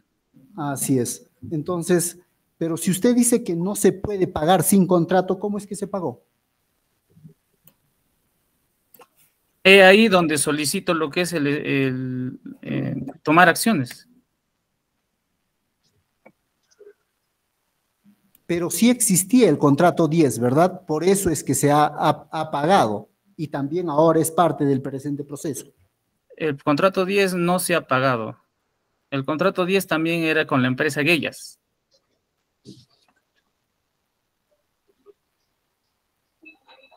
¿Quién es el encargado de hacer las contrataciones en la subregión de Castrovirreina? Las contrataciones los realiza a través de la oficina de eh, logística. ¿Qué documentos son necesarios tener para solicitar un proceso de contratación? O un procedimiento de contratación en este caso. Bueno, para empezar, lo que es, si estamos hablando de lo que es la ejecución de una obra, ¿no? De una obra, tiene que tener una, un desagregado analítico de gastos aprobado. En función a eso, se realiza un requerimiento. Ese requerimiento, ya sea de bienes o servicios, se, se deriva a lo que es por a través de la oficina de administración para que realicen lo que es el, eh, el flujo ya administrativo. ¿Se tiene que adjuntar ahí una certificación presupuestal?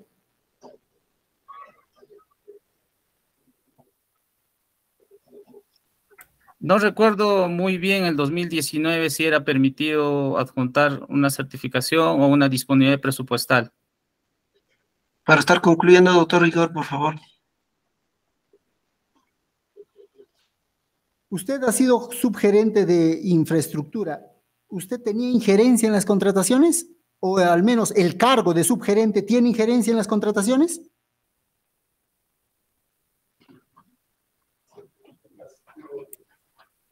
El subgerente de infraestructura suscribe lo que es los requerimientos, eh, deriva lo que es los requerimientos de, de, de- de los servicios que se solicitan.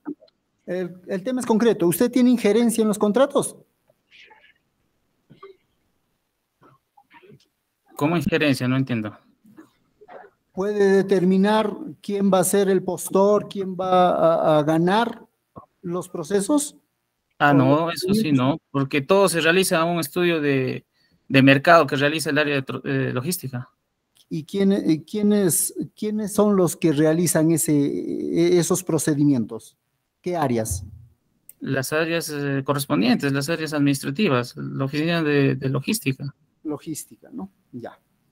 ¿Es posible pagar un servicio sin haber presentado por mesa de partes de la entidad? No, no, no es posible pagar un servicio. Entiendo que existen controles previos. ¿Esos controles previos evitan eso? Hay, hay controles previos que todo, todo- toda entidad este, eh, cuenta, ¿no? Dígame, los controles, lo- las áreas administrativas, es decir, los controles previos y los de contabilidad, eh, ¿eran los mismos que estaban en la gestión anterior cuando usted estuvo? Mm, No recuerdo, 2019, no, no, no recuerdo. Usted ha dicho que se han hecho indagaciones. Según esas, según esas indagaciones que ha hecho, ¿existe documentos de ingreso o solicitudes de pago a la subregión en, el, en esos CPs que ha señalado, el, tre- el 3.999 y el 4.000? Esos CPs, como les repito, son del 2018, no del 2019. Por eso, pero usted había hecho indagaciones. Dígame, ¿usted ha, verific- ha verificado esos documentos? Claro, Sí existen.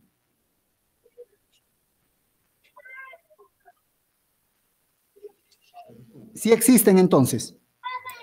claro, sí existen. Se adjuntó al, alegajo del informe de eh, 232.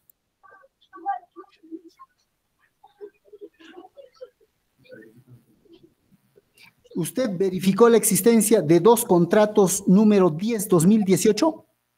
Doctor, ya respondió la pregunta, doctor. eso. Ya respondió, doctor. Sí, ya respondió, doctor. Ya excedió su tiempo también, doctor. Sí, doctor, por favor, para darle solamente, doctor, para que pueda concluir, doctor, ya nos hemos pasado. Este, Muy bien, señor. Eso es todo en todo caso. Doctor eh, Saldaña, para que continúe, doctor. Muchas gracias, señor magistrado. Señor Francis, muy buenas tardes. Le saluda el abogado Jorge Saldaña. A continuación le voy a hacer unas cuantas preguntas, sea concreto con sus respuestas. En su presente declaración como testigo en juicio, hemos escuchado eh, a usted decir que fue la empresa Geia Consultores la que elaboró el estudio de impacto ambiental. ¿Es correcto? Doctor, buenas tardes. ¿Cómo está? Sí, es correcto. Correcto. Señor Francis, eh, ¿usted tenía conocimiento que la empresa Geyas Consultores SAC suscribió dos contratos con la subgerencia regional de Castrovirreina? Se tomó de conocimiento con eh, la información solicitada. Eh, señor Francis, estando a su respuesta anterior, ¿nos puede indicar qué es lo que tomó conocimiento? Que había un contrato número 4, ¿no? Y eh, eh, había también un contrato número 10 con la misma empresa que ellos. En ese, ese contrato de 2010, eh, perdón, el contrato 10 era de diciembre ya. Ya. Eh, señor Francis, ¿usted me puede indicar cuál era el objetivo general del contrato número 4 2018 que suscribió Geyas con la subgerencia regional de Castrovirreina? Eh, la elaboración del estudio de impacto ambiental. Eh, señor Francis, en ese contrato 4 2018 también se requirió la certificación de impacto ambiental por parte de SENACE, ¿es correcto? Usted ha mencionado dos contratos, el 4 y el 10. Le estoy haciendo referencia y la pregunta es al contrato número 4. Sí, la aprobación, se solicitó la aprobación, es lo que, lo que dice el contrato, ¿no? Correcto. Eh, señor Francis, ¿nos puede decir si este contrato número 10, 2018, que suscribió Geyas con la subgerencia regional de Castrovirreina, se preveía la obtención de un certificado de, eh, de un certificado ambiental por parte de SENACE? Del contrato 10 no, no recuerdo. No recuerda. ¿No recuerda o no sabe? No recuerdo. Eh, señor Francis, eh, usted ha tenido a la vista el contrato número 4-2018 y el contrato 10-2018 que suscribió la empresa Geyas. Sí, sí, sí, sí, a la vista lo tuve. Señor Francis, ¿usted recuerda cuál es el objetivo general del contrato 10-2018 que suscribió Geyas con la subgerencia regional de Castrovirreina? Sí, el estudio de impacto ambiental. ¿Ese fue el objetivo general? Sí, el estudio de impacto ambiental. Eh, señor Francis, eh, ¿me puede precisar cuáles eran los términos de referencia de ese contrato 10-2018? No, no recuerdo. Eh, señor Francis, ¿es válido afirmar que en el contrato 4-2018 se preferi se, eh, como objetivo general era obtener la certificación ambiental de SENACE y en el contrato número 10-2018 el objetivo general era la implementación de los mecanismos para mitigar el impacto ambiental?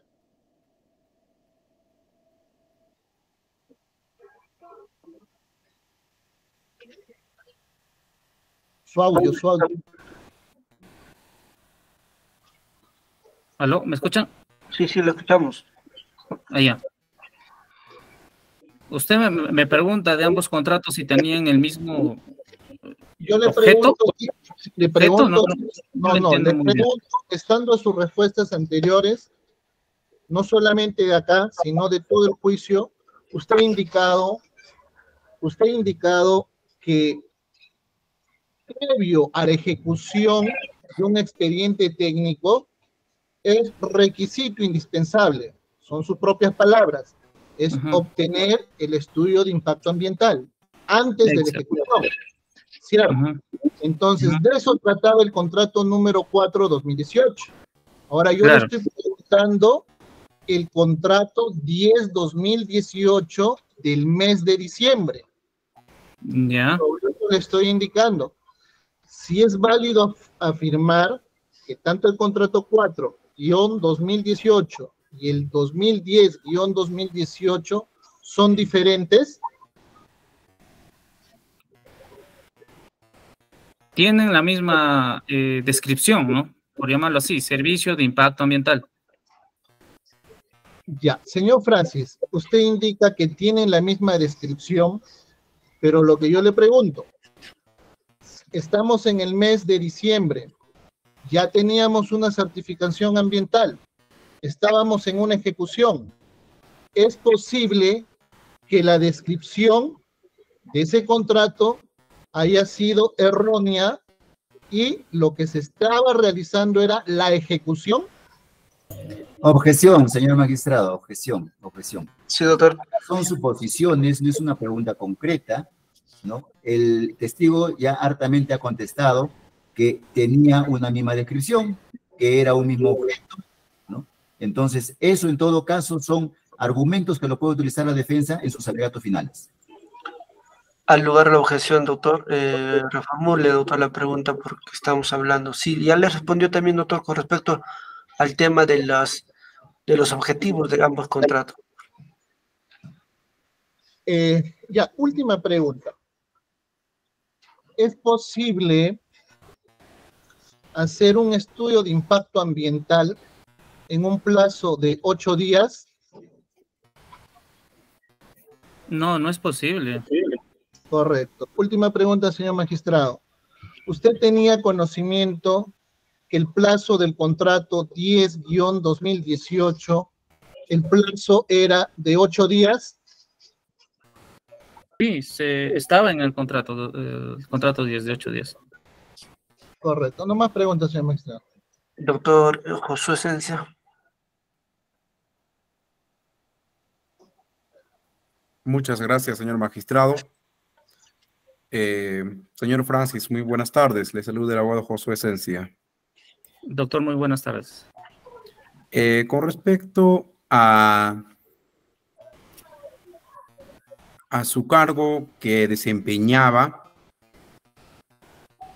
ha podido precisar que ha asumido después de otro colega, de su colega que anteriormente ha asumido. Sin embargo, la pregunta es, en el momento que su persona asume el cargo, ¿ha podido corroborar el expediente técnico? Estamos hablando del expediente técnico del estudio de impacto ambiental. Correcto. ¿cierto?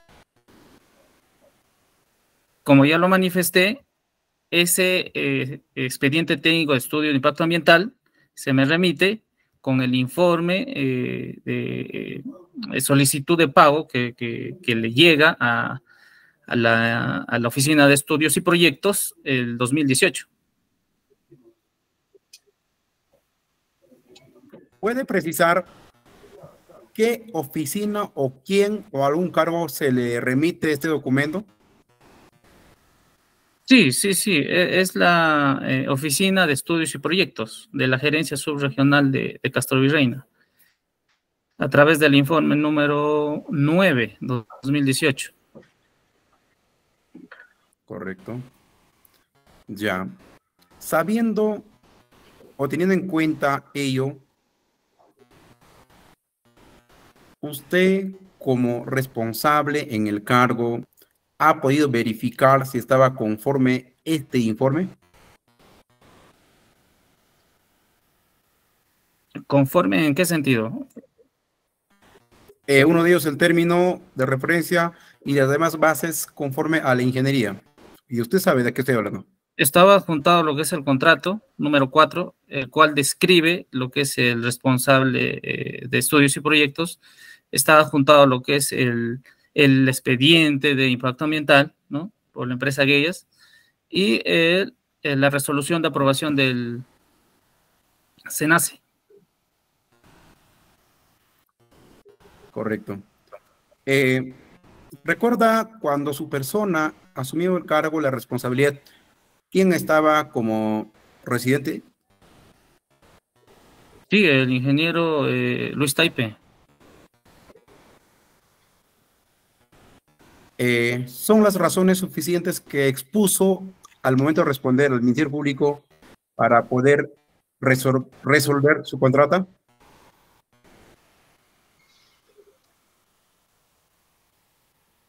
¿Cómo, cómo, cómo?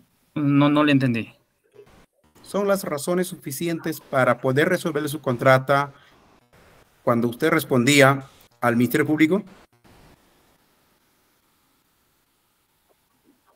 Sí, sí, sí, se evaluó lo que es el contrato del residente y en función a sus incumplimientos de funciones, como el responsable técnico de lo que es la obra, eh, se solicitó lo que es el tema de la resol- de res- resolución de contrato. Última pregunta. ¿Recuerda cuándo fue la fecha donde se resuelve la contrata del señor residente? Eh, no recuerdo. Muchas gracias. No más preguntas, señor juez. Doctor Mauro Illesca.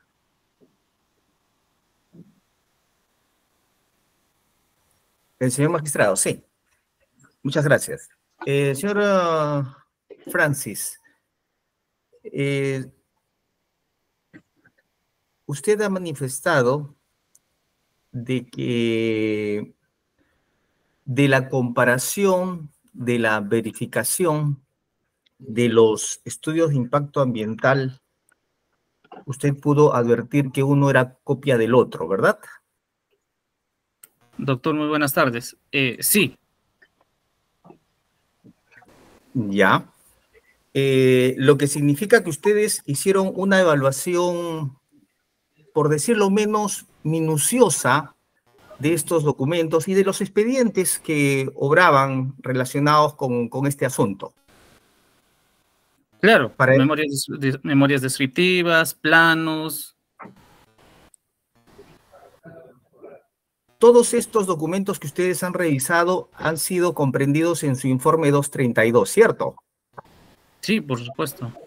Se ha juntado todo. ¿Nos puede, ¿Nos puede decir si ustedes verificaron si las firmas en los documentos presentados por Cosmich, supuestamente firmados por la representante legal, María Carmen Chávez de Illesca, coincidían todas? ¿Eran idénticas? ¿Eran iguales? ¿Se podía presumir que era de la misma- del mismo puño?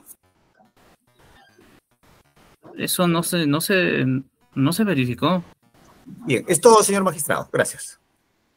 La directa fiscalía, una pregunta. Sí, señor magistrado. Eh, ingeniero, quiero apelar a, a- a su experiencia como ingeniero, ¿no? Y también como funcionario público encargado de infraestructura. Fíjese, usted ha mencionado, ha respondido al doctor Igor que eh, sí, pues se requiere la implementación de las observaciones que pudiera presentarse NASA cuando aprueba un estudio de impacto ambiental. Me interesa que usted aclare, precise, esta implementación eh, necesariamente la tiene que ser la institución o es que la empresa que va a ejecutar la obra cuyo estudio de impacto ambiental es necesario, debe implementar esas observaciones. ¿Me expliqué, ingeniero? Eh, hasta donde le entendí, eh, señor fiscal, eh, todo eh, expediente de impacto ambiental aprobado por lo que es el SENACE, ¿no? Eh, se notifica a los responsables directos, ¿no? En este caso, lo que es el- la parte operativa, la parte de, lo que es la entidad, ¿no? El gobi- mismo gobierno regional, ¿no? Para que tomen las acciones. Y tratándose de una obra por administración directa, y lo manifesté, ya es dependencia de lo que es la, eh, la unidad ejecutora de inversiones, cómo implementar, ¿no? Contratar lo que es eh, servicios por terceros, profesionales, o un servicio total, ¿no? Eh, por la modalidad de ejecución. O sea, yo quiero que me diga usted, por eso le digo, estamos hablando, enfoquémonos, centrémonos en el estudio de impacto ambiental, pero este estudio de impacto ambiental, ingeniero, era requisito sine qua non para ejecutar la obra creación del camino vecinal, ¿no? En, en Cinto Torres Marca, ¿verdad? La pregunta concreta es, la pregunta concreta es, ¿es necesario que la entidad, en este caso, la sugerencia subregional Castro Virreina, implemente esas observaciones que hizo SENACE o la entidad le puede trasladar esto para que la empresa ganadora que se encarga de la ejecución de este camino vecinal implemente esas observaciones. Objeción, señor magistrado, está confundiendo al testigo. Recuérdese que no hay empresa que esté ejecutando la obra, es una administración directa.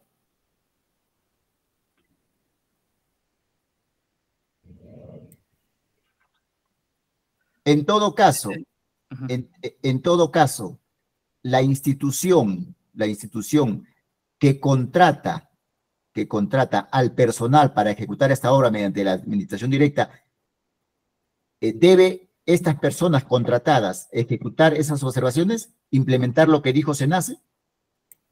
Claro, por supuesto. Tiene que implementar. Por eso ahí es donde en el informe número 9 de estudios y proyectos re- recalca, ¿no? Dentro de sus conclusiones, que se tome de conocimiento que había llegado lo que es la, la, resolución de aprobación de- de- del estudio de impacto ambiental y, eh, em- eh, y que se vean las consideraciones en función que ya había iniciado lo que es la obra, ¿no? Es decir, es decir, ingeniero, es decir, la institución no tenía que contratar otro personal porque ya se, se iba a ejecutar la obra, ¿no? Y entonces el personal contratado para ejecutar esta obra mediante la administración directa tenía que implementar estas observaciones, entre comillas, que hizo SENASA cuando aprobó eh, ese estudio de impacto ambiental. ¿Es correcto? Objeción, Claro. señor magistrado. Otra vez, este, el señor está el señor mm, fiscal está confundiendo obras por contrata con obras por administración directa. En obras por administración directa, contrata servicios independientes de acuerdo a la necesidad. En cambio, en la obra por contrata, sí. Ahí sí, toda la ejecución lo ve únicamente el contratista y el contratista verá a quién contrata. Eh, por administración directa es diferente y el señor precisamente ya lo, ya lo ha precisado en una intervención anterior y ha dicho directamente que sí tiene que contratar servicios, que tiene que contratar este, otro- otros profesionales con la finalidad de cumplir. Eso lo dijo en la primera respuesta que dio a, su, este, a, a las preguntas que está implementando en estos momentos. Sí, pero a ver, si me dejo, si me dejo explicar, lo que quiere el Ministerio Público establecer es que no necesariamente la institución debe contratar estos servicios, sino que puede trasladar al personal que ejecuta, ¿no? Al personal contratado que ejecuta este, eh, esta obra que era el camino vecinal eh, Cinto Torres Marca. Eso es lo que quiere establecer el Ministerio Público y si me permite el señor magistrado, para que eh, el ingeniero precise eso. Con la aclaración, señor magistrado, en todo caso devendría impertinente porque se le ha llamado para determinar, para absolver determinados puntos, los mismos que no están dentro de lo establecido en el auto de enjuiciamiento. Lo que está preguntando ya no está establecido en el auto de enjuiciamiento, devendría impertinente. Pero es recogido de la pregunta suya, doctor. Sí, doctor. Efectivamente, doctor, ha sido está siendo introducido por el tema de que ha sido parte del contrainterrogatorio por parte del doctor Igor. Efectivamente, doctor. Este doctor, ingeniero Francis. Para poder concluir, doctor, tenemos 10 minutos, tengo 4 y 30 otra audiencia. Por favor. Ingeniero, entonces, retomando, retomando, le, le, le, le, le pregunto, ¿es necesario que sea la institución, la entidad, exclusivamente la que tenga que implementar, ¿no? Eh, estas recomendaciones, sugerencias que hace SENACE al momento que aprueba un expediente técnico de impacto ambiental, o puede la entidad trasladarlo, ¿no? Ya sea, sea administración directa, o sea, eh, por otra modalidad, trasladarlo a, al contratista. La entidad es la unidad ejecutora de inversiones. En lo que es obras por administración directa, los directos responsables son la parte operativa, residente, supervisor de obra. Ellos son los que aprueban, eh, actualizan, llámese actualizar lo que es un desagregado de gastos dentro de lo que es una ejecución. Lo mismo pasa con lo que es la implementación del impacto ambiental. Se les hace llegar a los responsables directos técnicos para que ellos implementen eh, de acuerdo a un cronograma establecido dentro del expediente de impacto ambiental todas las medidas de, eh, que se tienen que realizar. Es decir, nuevamente concluyo, de acuerdo a lo que usted dice, no es necesario contratar otro personal entonces. Eso depende de la unidad ejecutora de inversiones, vuelvo a repetir. Ok, bien.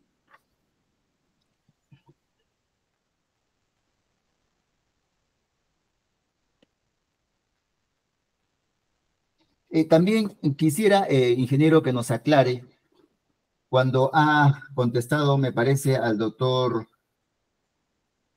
al doctor Cencia o al doctor Saldaña, no recuerdo muy bien, cuando hizo mención sobre el expediente técnico, cuando usted hace mención del expediente técnico, se refiere, se refiere al expediente técnico del estudio de impacto ambiental o al expediente técnico de la obra creación del camino vecinal Cinto Torres Marca? Eh, no recuerdo el tema de la, de la, mm, del contexto de la pregunta, pero aclarando, eh, el estudio de impacto ambiental es necesario para eh, el, inicio de una ejecución de, de, una obra. Eso está descrito, eso está descrito dentro del, del expediente técnico general de lo que es la obra. O sea, el expediente técnico general de la obra o estudio definitivo, ahí menciona que se tiene que hacer lo que es un estudio de impacto ambiental, ¿no? Bien. Entonces, sí. Ingeniero, ingeniero, sí, para que, el señor magistrado tenga claro esto, ¿no? Cuando usted habla de, de, de expediente técnico, ¿se refiere a ese expediente técnico de la obra o hay un expediente técnico del estudio de impacto ambiental también? Claro, hay un expediente técnico de estudio de impacto ambiental donde se presenta para su evaluación al SENACE, ¿no? Es decir, entonces, estamos hablando de dos expedientes técnicos, uno del estudio de impacto ambiental y otro expediente técnico, digamos, macro, de la obra Creación del Camino Cinto Chunca Torres Marca. ¿Es correcto? Claro, para lo que es la, ejecución de la, de la obra se necesita aprobar, ¿no? Ese expediente técnico general. Gracias.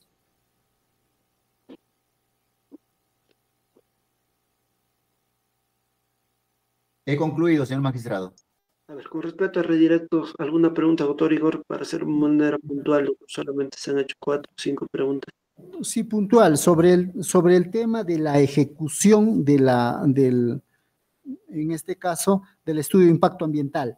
En este, eh, en esto no quedó claro lo que el señor fiscal quería establecer y el señor ha, sido bastante claro y bastante didáctico también en explicar que es la unidad ejecutora la que le entrega la responsabilidad al residente y supervisor de la ejecución. Pero también dijo ahí que ahí se implementan las acciones que, se ha establecido en la resolución de aprobación de este impacto ambiental y, y acá específicamente en el artículo 2 dice todos los compromisos asumidos. Entonces, ¿cuáles son esos compromisos asumidos? Entiendo, componentes de evaluación, monitoreo, mitigación ambiental, componentes de seguimiento al impacto ambiental y todo eso.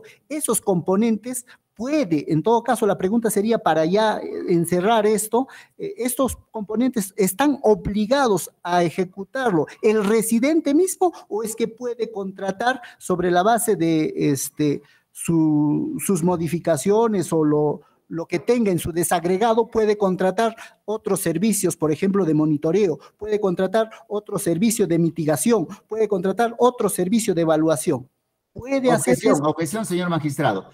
El, el abogado está haciendo una pregunta que ya respondió. Ha mencionado claramente el ingeniero, señor magistrado, que eso dependerá de la unidad ejecutora, que puede contratar como no. Clar- clarísimo lo dicho. Entonces que- queda claro, puede, puede contratar, perfecto. El otro, el otro punto, y es, eh, es, es más claro todavía, si ya los dos nos estamos poniendo de acuerdo, mucho mejor. Eh, respecto a que si el expediente técnico engloba o, o dentro del expediente técnico está el estudio de impacto ambiental aprobado. ¿Puede aclarar eso?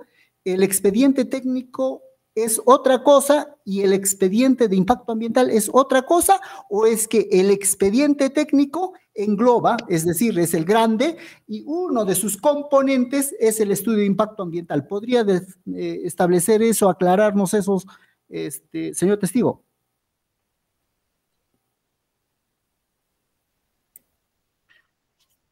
como lo vuelvo a repetir, eh, un proyecto de inversión, ¿no? Se basa a la aprobación de un expediente técnico o un estudio definitivo. Ese estudio definitivo o expediente técnico tiene requisitos, requisitos fundamentales, llámese la parte técnica, la parte de planos y también estudios, estudios, certificaciones que ameritan lo que es la correcta ejecución estudio de CIRA y uno de ellos es el estudio de impacto ambiental. Eso sería todo, señor. Doctor Jorge. Ninguna, doctor. Doctor um, Josué Esencia. Ninguna redirecta, señor juez. Muchas gracias.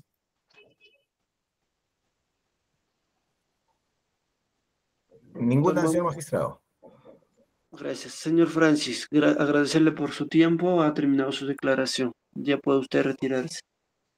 Señor magistrado, muy- muchas gracias. Muy buenas tardes con todos. Gracias. Doctores, ya en sesión anterior habíamos señalado que esta audiencia iba a ser reprogramada para el día 28 de agosto a horas 9 de la mañana, doctores, en la cual vamos a, vamos a recepcionar la declaración de los peritos Elvira Araceli Rojas Mendoza, Miguel, Miguel Ángel Alanya Ramos y Gerardo Castillo Mamaño.